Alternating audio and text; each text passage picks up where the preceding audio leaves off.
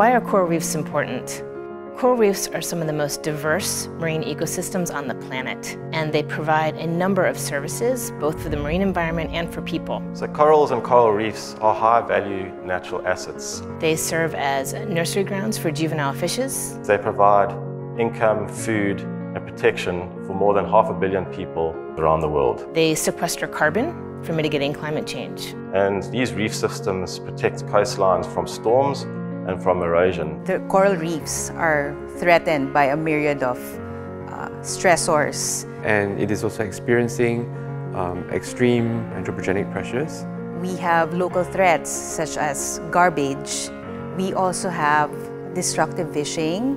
Pollution from human settlements around coral reefs are impacting reefs on a daily basis. So one of the biggest threats to corals is climate change in the form of global warming and we do not understand the adaptive capacity of each individual species. And so we need to know what the status of individual species are and determine what are the impacts of threats to coral reef fishes and invertebrates so that we can better understand if the reef ecosystems of the world are at risk of collapse.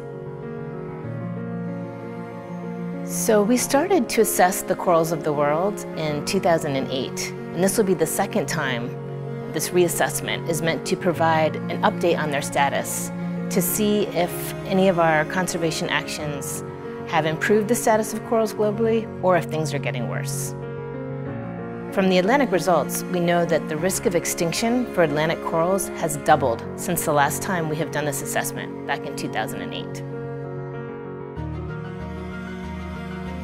So the Lee Kong Chian Natural History Museum is the host for this Red List of uh, Coral Workshop. This workshop is the last step in this reassessment of the world's corals. Singapore is also in the southwestern corner of the Coral Triangle and this is the world's hotspot for coral reef biodiversity. We do know that there are about 850 species of reef-building corals around the globe, and the vast majority of them are here in the Indo-Pacific.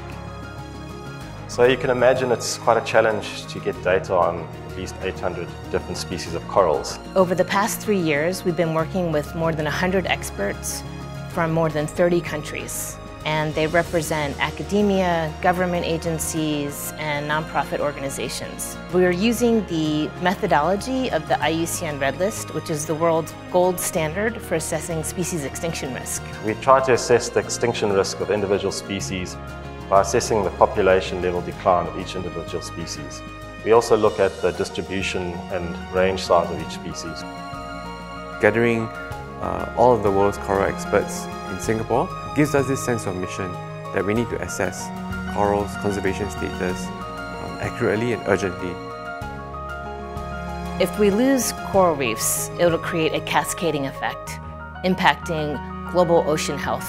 And not only will marine species be impacted, but coastal livelihoods and humans too that depend on oceans.